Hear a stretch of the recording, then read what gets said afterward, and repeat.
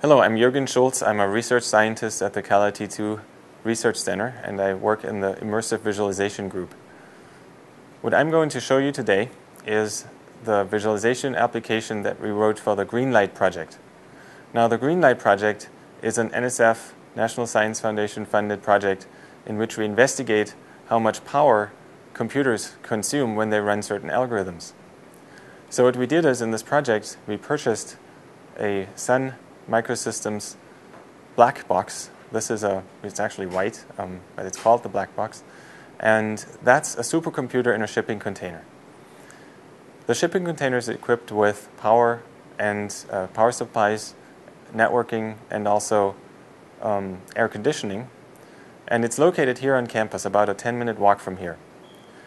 Now, since we don't always want to walk there in order to see what's going on inside of it, and we couldn't even see what's going on inside of it because we're talking about power consumption, we have a virtual model. We created a virtual model for our immersive virtual reality cave and also for the NexCAVE.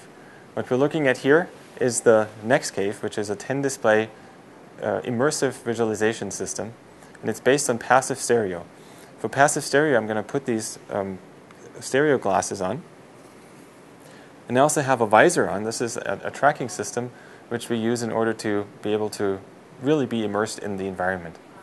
And I'm going to control this environment with a handheld input device. This is a prototype for a 3D mouse. So now I'm going to show you what, this, what we have done for this project, um, which is that we have brought the, a, a, virtual replica of this, of this black box into the virtual environment.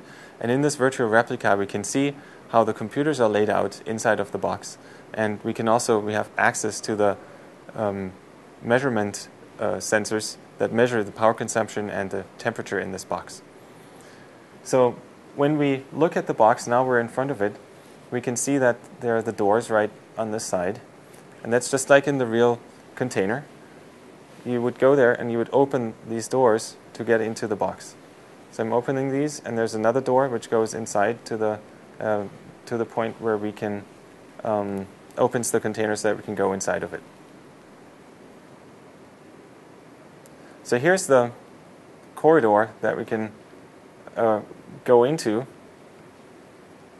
in order to see the racks of computers that are on either side of the corridor. There are four racks um, in this corridor on each side, and they're all full of computers.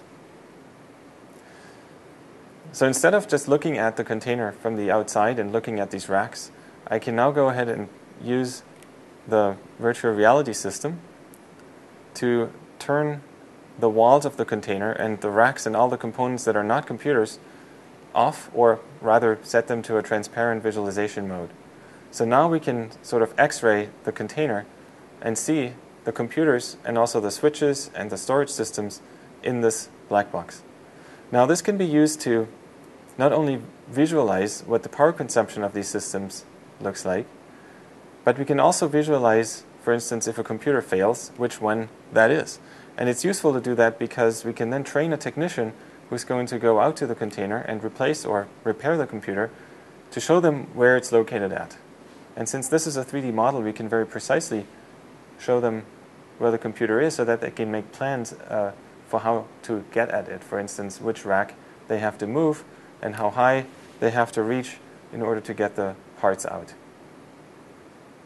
And the reason for minimizing the physical access to the box is that we're measuring not only power consumption but also air conditioning um, so that we can see how much air conditioning we need in order to cool these computers down.